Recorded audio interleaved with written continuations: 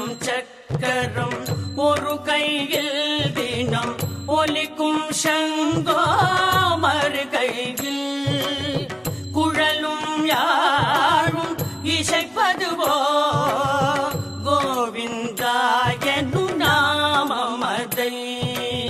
Govinda Hari Govinda.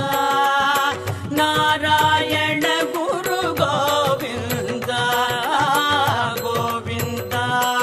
go